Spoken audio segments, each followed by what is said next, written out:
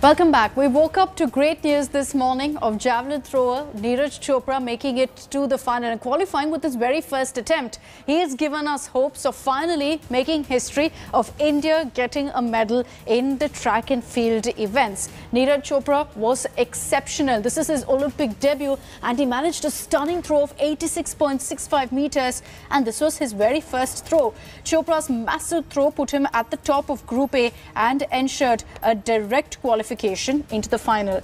Chopra only needed a few seconds to breach the qualifying mark of 83.5 meters. The 23-year-old's performance was one of the best that you will ever see on Olympic debut. He also finished ahead of the 2017 world champion and gold medal favourite Johannes Vetter of Germany, who also made it to the final with a final throw of 85.64 metres versus Neeraj, who was 86.65 metres. India's Shivpal Singh, however, who was competing in Group B, failed to make it to the final, only managing a throw of 76.4 metres. So all our hopes are pinned on Neeraj Chopra.